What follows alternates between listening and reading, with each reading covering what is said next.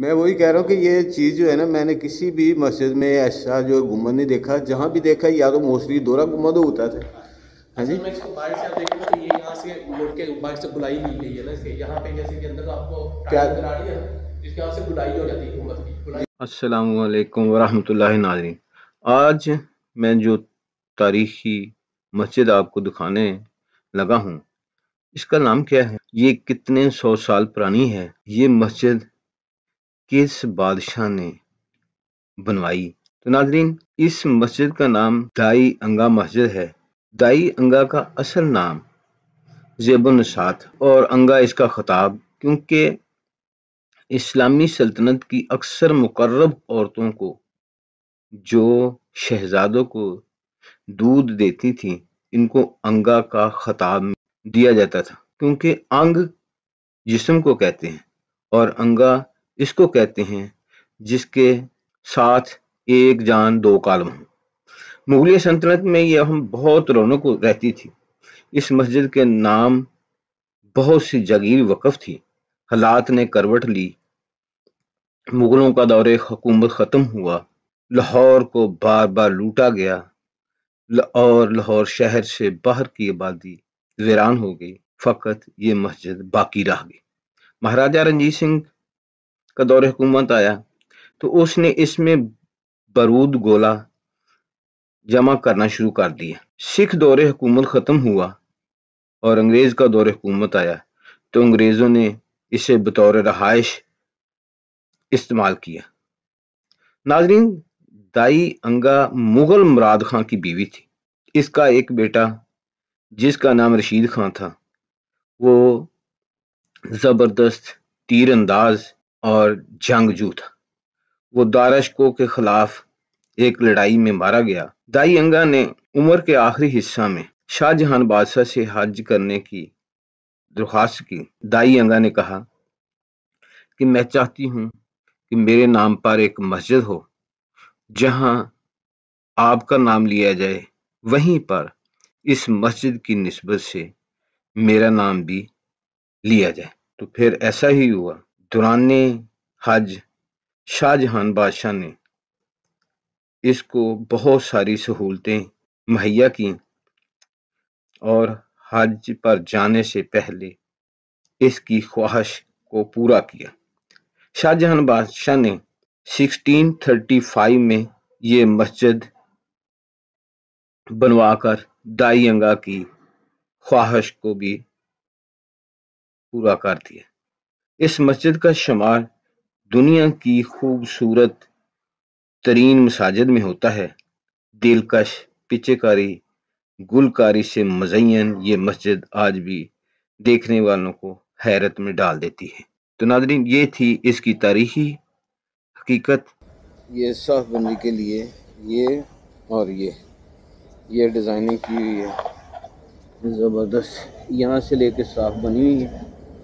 और आगे ये छोटा जैसे मसला बना हुआ है। ऐसे ही फिर इसके आगे और ये इसी तरह छोटी ईंट के साथ यहाँ सर के लिए मसले बनाए हैं छोटी ईंट के साथ ही।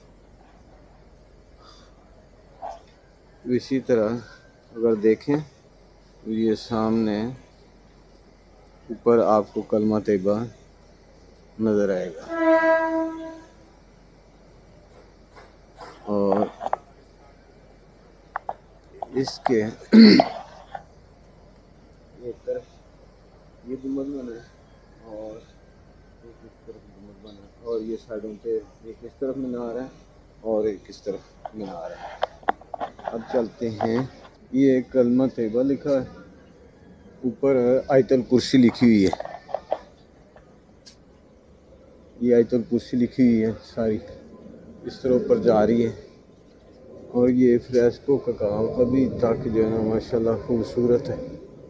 ये टाइल बाद में लगी है, ये वही छोटी ईंट। ये वाली।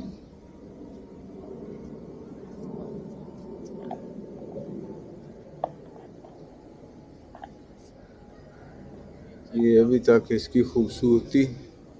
बिस्मिल्लाह। और मस्जिद के हाल के अंदर ये सामने मेहराब इमाम साहब के लिए। और ये मेंबर और ऊपर कलमा तैयबा और इसी तरह फिर वो ऊपर कलमा तैयबा। बस चारों तरफ़ कुली लिखे हुए हैं। और साथ ही आयत मुबारक और आयत कुर्सी। ये इसका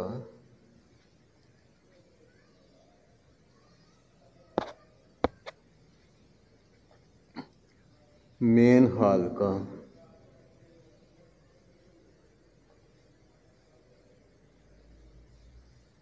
सेंटर में जो बड़ा गुंबद ये तो मेरा ख्याल बाद में टाइल वगैरह लगा के इसको नमी से बचाने के लिए टाइल लगाई है। और इसी तरह आप ऊपर देखें, नमी की वजह से ये चीज़ें इसकी वो उतर चुकी है। लेकिन खूबसूरती अभी तक ये कलर की इनकी वाज नज़र आ रही है। अल्लाह ये गालबन आठ फुट चौड़ी होगी ये वाली। इसकी जो है बेस इस ये देखें, असमाउल हुसना लिखे हुए हैं। सुबहान अल्लाह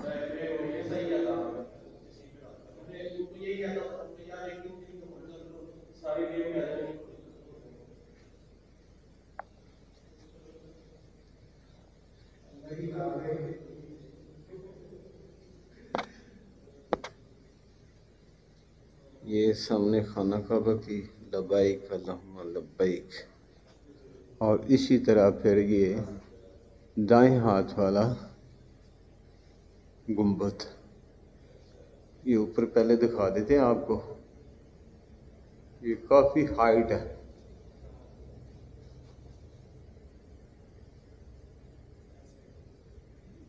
इसका कुछ व्यू इस तरह है।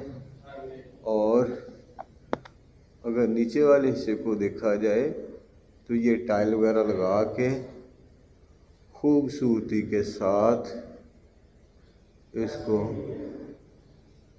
ऐसे खूबसूरती के साथ सजाया गया है। सुबहान अल्लाह और ये मेहरा। अलमारी बनी हुई है पुराने पाक रखने के लिए।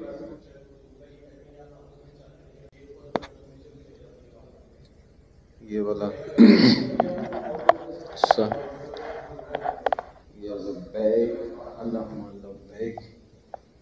फिर ये सेंटर वाले के साइड पे जो दूसरा गुंबद है वो कुछ इस तरह है। ऊपर से खुला हुआ वसी लेकिन है तो बंद है लेकिन काफ़ी ऊँचा है। सर ये दोरा गुंबद तो नहीं मेरा ख्याल? नहीं नहीं दोरा गुंबद सिंगल है, है? लेकिन सिंगल ही है लेकिन यानी अलग किस्म के सिग्नल है इस तरह के पहला मुगल दौर में नहीं यूज़ हुआ। मैं वही कह रहा हूँ कि ये चीज़ जो है ना मैंने किसी भी मस्जिद में ऐसा जो गुंबद नहीं देखा जहाँ भी देखा या तो मोस्टली दोरा गुंबद होता था। हाँ जी? मैं बाहर से आप देखेंगे तो ये यहाँ से मुड़ के बाहर से गुलाई ली गई है ना? इसके यहाँ पे जैसे कि अंदर आपको क्या? करा रही है इसके यहाँ से गुलाई हो जाती है गुंबद की गुलाई होकर फिर ये ऊपर को जा रहा है सीधा। हम्म, हम्म। ऊपर जाके फिर गोल घूम रहा है। बिल्कुल सही। तो ये बड़ी अच्छी खूबसूरत सा बनाया दाई अगा एक बड़ी रिच किस्म की दाई थी मुगल दौर की ये जो शहजादा खुरम है शाहजहां कहते हैं ये उसकी यानी कि दाइया थी उसी की उसने निगरानी की उसको दूध भी पिलाया। हाँ, हाँ। और शाहजहां को भी इससे बड़ी एक उनसियत थी। और वो इससे बड़ी मोहब्बत किया करता था। हम्म। इसी की मोहब्बत में उसने गुलाबी बाग बनाया इसका मकबरा बनाया। ठीक है जो हाँ, आज। भी ये जीटी रोड के ऊपर है। रोड के ऊपर, बिल्कुल। रोड से थोड़ा सा शालीमार बाग की तरफ़ जाए तो आता है। वो शाहजहां का बनाया हुआ है। बिल्कुल और सही। ये उसके इसने बहुत ज़्यादा ज़मीन दाईअंगा को दी थी। वक़्फ़ की की थी और दाईअंगा ने फिर ये मोहल्ला ये दाईअंगा मोहल्ला कहलाता है। और ये मोहल्ला उसी ने ही इबाद किया था दाईअंगा ने। अच्छा अच्छा। उसने इबाद किया था उसने ये मस्जिद बनाई थी और यहाँ पे बड़े मोहल्लात हुआ करते थे। हम्म। और ये रिच किस्म का कहते हैं कि मुगल दौर के अंदर जो मोहल्लात थे उनमें ये बड़ा अमीर मोहल्ला था। और इस मोहल्ले को इतना हम अंदाज़ा लगाए इसकी इमारत का कि इसकी प्रोटेक्शन के लिए चार दीवारी बनाई गई थी किला टाइप बनाया गया था। हम्म, ठीक है ना इसके दरवाजे हुआ करते थे। लेकिन क्या कहते हैं कि रोज का जो जुवाल होता है तो घर घर जब आते थे वो यहाँ पे लूट मार करते थे लोगों को कत्ल करते थे तो दीवारें कितनी देर तक उनको बचा सकती थी। हम्म, तो लोगों ने अपनी जानो माल से तंग आते हुए अपने मोहल्ला छोड़े ये वीरान हुआ मोहल्ला। हम्म, और यानी कि हर चीज़ ख़त्म हो गई मजीद गारो गलत हुई। तो ये फिर चलते चलते जब फिर बात आई रंजीत सिंह की जी जी। तो मस्जिद क्योंकि उस वक्त इमारतें कम होती थी पक्की। जी जी। एक पक्की इमारत थी। हाँ, उसने हाँ। इसको बरूद के लिए इस्तेमाल किया गोला बरूद यहाँ पे स्टोर नहीं बरूद खाना वाली मस्जिद वो मरियम जमानी नहीं? मरियम जमानी में भी किया था इसको भी किया था। अच्छा यानी कि अच्छा, उस वक्त जो इस तरह की पक्की इमारत थी उसको उसने मोस्टली को बरूद खाने के तौर पे इस्तेमाल किया। हाँ। इसको भी किया। फिर जब अंग्रेज़ लोग आए अंग्रेज़ों ने जब हुआ तो ये जगह जब यहाँ पे फैक्ट्री बनी रेलवे लाइन के लिए लाइनें बनाने के लिए फैक्ट्री बनाई गई हम्म, हम्म। तो उसका जो फैक्ट्री का जो मेन हेड था जी, जी। जिसको तोप के नाम से जाना जाता है। हम्म। उसको ये जगह पसंद है तो उसने रेजिडेंसी के लिए ये जगह ले ली। हाँ बिल्कुल और उसने इसको एज अ रेजिडेंसी इस्तेमाल किया। हम्म। लेकिन इसमें जो बाहर आपको नज़र आई है कि खताती हुई पुराने पाक की ये कहते हैं कितनी खूबसूरत उस वक्त हुआ करती थी कि उसने इसकी खूबसूरती की वजह से शायद इसको खत्म नहीं करवाया। हाँ हाँ। और इसमें रहना शुरू कर दिया उसने। जब वो गया तो फिर इस तरह और आए लोग। रेलवे का जब रेलवे बन गई तो फिर रेलवे के मुलाजमीन ने इसमें लेना शुरू कर दिया वो रहना शुरू कर दिया यहाँ पे। नहीं अंग्रेज़ का दौरे हुकूमत जब खत्म हुआ है अंग्रेज़ का दौरे हुकूमत पाकिस्तान बन गया। हाँ, उसके बाद तो ये बतौर मस्जिद नहीं इस्तेमाल ये अंग्रेज़ दौर में पूरी मस्जिद इस्तेमाल लेकिन मैं आपको बता रहा हूँ ये अंग्रेज़ों के ऑफिसर्स की रहायशगाह रही है। अच्छा अच्छा उसके बाद जनरल जोन था जो जनरल था जो भी था उसको नाम क्या देते थे? एक दफ़ा उसकी रही है एक दफ़ा एक और रेलवे का मुलाजिम था उसकी रही है। अच्छा अच्छा अच्छा अंग्रेज़ दौर में नहीं अंग्रेज़ अंग्रेज़ अच्छा, दौर में। लेकिन ये 1901 की बात है कि जब एक अखबार है मुझे उनका नाम भूल गया कि उन्होंने इसके हक में आवाज़ उठाई हम्म। कि ये मुसलमानों की मुकद्दस अ, जगह है हम्म। नमाज़ की जगह है हम पे अल्लाह की इबादत करते हैं। इसको आप बेहरमती कर रहे हो एज रेजिडेंसी के तौर पे। बिल्कुल सही। तो जब उन्होंने इस चीज़ को उठाया तो फिर उनको देखते हुए दीगर अखबार ने भी इस मुद्दे को उठाया। हम्म, जब उठाया तो ये एक दो साल के अंदर ये मुद्दा इतना शदीद इख्तियार कर गया कि लोगों ने एहतजाज करने शुरू कर दिए। फिर सही। 1903 के अंदर ये मस्जिद जो सी मुसलमानों के हवाले की गई। बाइज्जत तरीके से हाँ, हाँ। मुसलमानों के इसकी जो रेनोवेशन थी तब करके तो इसको आबाद किया। जिसके इर्द गिर्द उस वक्त का दाई होने का मोहल्ले की सारी इमारतें खत्म हो गई हैं सिर्फ़ ये एक मस्जिद बची है उस दौर की। अच्छा। और इस मस्जिद का बड़ा वसी एरिया होता था? हम्म। लेकिन मस्जिद की कुछ- इमारत तो बच गई है लेकिन वसी इमारत बाकी जगह इसकी सारी रेलवे यार्ड के अंदर आ गई। हम्म। लेकिन फिर भी जो एक छोटा सा बगीचा बना और ये मस्जिद बची हुई है अल्लाह की। नेक औरत हो गई नेक पैसा होगा। जी, उसकी इबादत को कबूल किया गया और इसमें आज तक अल्लाह की इबादत हो रही है। बिल्कुल सही बात। तो ये दाई अंगा के हवाले से थोड़ा साफ़ था उसका। हम्म। तो ये एक बड़ी खूबसूरत मस्जिद है। अभी काफ़ी इसकी यानी कि ओरिजिनल शेप तो खत्म हो गई। हाँ काफ़ी ज़्यादा इसके अंदर नया चीज़ें आ गई। ये सारे बिल्कुल सही बात आपने कही है। ये टाइल वगैरह जो है ना जितनी भी हाँ लगी हुई है टाइल। टाइल। बाद में लगी है बाकी जो है इसकी फ्रेस्को का है डिज़ाइनिंग के है ना में जी, जी। ये अच्छी हालत में चीज़ उन्होंने छोड़ दिया इसको। हाँ। शायद ये भी खराब होती तो शायद इस भी टाइल लग चुकी होती। हाँ लेकिन हाँ इनकी एक और अच्छी बात मैं देख रहा हूँ। अभी बाहर में ये रेनोवेशन जो टाइल मोजेक वाल लगा रहे हैं मोजेक टाइल। उसका मैपिंग दे के उसी मैपिंग की वो तैयार करके लगा रहे हैं। बिल्कुल ऐसे ही। है ये अच्छी बात है। हाँ, हाँ। हाँ, बहुत अच्छा है। वैसे ये पहले भी मोजेक ही है। जी जी। मोजेक टाइल का ही काम है ये पेंटिंग नहीं है। कौन सा? ये कलर पेंटिंग नहीं है। ये मोजेक टाइल की पेंटिंग है। ये सर ये टाइल नहीं नहीं ये देखें। आ, ये टाइल नहीं है। इसमें कुछ एरिया में ये देखें जैसे ये ये अच्छा नहीं, नहीं, में लगाया गया। नहीं ये देखें। आपको यहाँ से नज़र आएगा इसके ऊपर बाहर से मैं आपको दिखाता हूँ। हल्का सा इसके ऊपर मोजेक टाइल का ग्लेज चढ़ा हुआ हाँ, है ये ग्लेज है। ये कलर नहीं है। नक्शो नुगार वही नहीं है। नक्शा नहीं ये मैं कह रहा हूँ उस दौर की बात ही कर रहा हूँ। ये उस दौर का ही है लेकिन ये उस दौर में भी यानी कि पेंट वाला कलर नहीं है। ये मोजेक वाला है। इसके ऊपर आप कभी हाथ लगाए ना ये देखिए कितनी फिनिशिंग है इसके ऊपर। आप टाइल की टाइल की टाइप इसके हाथ लगाए। ये टाइल टाइप है। इसके ऊपर हल्का सा ग्लेज चढ़ा हुआ है ना। बिल्कुल सही। इसको ग्लेज किया गया। यानी कि उस दौर में भी इसमें टेक्नोलॉजी इस्तेमाल की गई। हम्म हम्म। तभी तो इतनी खूबसूरत है माशाल्लाह आज भी देखिए इतनी खूबसूरती है। और इसकी खूबसूरती की वजह से अंग्रेज़ ने भी इसको ख़त्म नहीं किया इसकी नक्श ख़त्म नहीं किया सिखों ने भी ख़त्म नहीं किया। ऐसे ही। तो लेकिन शायद अगर मार्बल लगा होता तो तो ये वाली चीज़ बेस इसकी जो है ना ये देखिए ज़रा गौर फरमाए। ये बेस इसकी उतर चुकी है कच लेकिन चूना ही है ना हाँ जी। हाँ जी हाँ जी। कच चूना इसको कहते हैं। हाँ जी काच चूना। वही कह रहा हूँ कि इसकी बेस से ये उतर चुका है। लेकिन मुझे ऐसा महसूस हो रहा है जैसे ऊपर वाला जो काम है अभी तक वही है। उसी मैं चूना के साथ। वही बात कर रहा हूँ ना कि ये काम ओरिजिनल ही है। हाँ लेकिन ये देखिए ये ग्लेज स्टाइल के साथ काम किया गया। है यानी कि ये पेंटिंग नहीं की गई ये ग्लेज स्टाइल उस वक्त भी यूज़ हाँ। की गई है। बिल्कुल सही ये है। उस दौर की ग्लेज स्टाइल है ये देखें आप इसकी थिकनेस देखें आप तकरीबन ये दो को सेंटी मोटा होगा ये देखें आप ये निकला है उसके अंदर से। ये हाँ, देखें ये देखिए ये ग्लेज स्टाइल चढ़ा हुआ है इसके ऊपर। बिल्कुल सही है। तो ये बड़ी खूबसूरत चीज़ है। चले जी अल्लाह पाक सब मसाजिद को जितनी भी इबादत गाहें हमारी हाँ अल्लाह पाक सबको आबाद रखे। आमीन आमीन। जी। और हमें भी तौफीक दे कि हम बर वक्त जो है ना नमाज़ पढ़ने वाले बन जाएँ। असल कामयाबी तो सर अल्लाह के हुक्मों में है और नबी पाक सल्लल्लाहु अलैहि वसल्लम की मुबारक तरीक़ों में है। तरीकों में है हाँ जी? तो अल्लाह हमें आखिर वक्त तक अपने प्यारे नबी सल्लल्लाहु अलैहि वसल्लम के मुबारक तरीके के मुताबिक ज़िंदगी गुजारने की तौफीक दें। आमीन। अल्लाह रहमत करे सब पे। फ्लोर पैटर्न दिखाएँ कितना खूबसूरत है। जी जी। ये उस वक्त नवाजी के मसले उस वक्त भी बनाए गए थे। हाँ मैं वही कह रहा था अच्छा दोनों अलग अलग पैटर्न है। हाँ जी। ये पैटर्न और है और ये पैटर्न है यानी कि एक मसले को दूसरे मसले से अलग किया गया। है हो हो हो बिल्कुल अच्छा ये देखे ना उसी तरह जिस तरह मुसल्ले के ऊपर नहीं मुसल्ला हो। मसाला टाइप ये वाली चीज़ जो है ना उसी तरह बनाई गई है म- मतलब ये ये सा और ये फिक्स किया गया। ना इसका पैटर्न अलग बना दिया। जी, जी। अगले मसले का पैटर्न अलग बना दिया। हाँ हाँ हाँ। इसी को वाइस फिरसा किया गया ना दोबारा? बिल्कुल सही है। अच्छा देखिए कितनी महारत के साथ फिर उसको जो है ना वो इन्होंने वो इसकी टाइल की जो ना कढ़ाई की। माशाल्लाह। ये इस तरफ़ खड़े हों तो ज़बरदस्त व्यू है। सुबहान अल्लाह व बिहमदिही। सुबहान अल्लाह। लजीम अच्छा मस्जिद का इतना हिस्सा है ये मेरे ख्याल बाद में ये वाला हिस्सा जो है ना शाम बनाया गया होगा ना बाद में हाँ जी। के तौर पे मदरसे के तौर होगा। लेकिन ये, ये वाला चीज़ जो है ना मस्जिद के अंदर थी।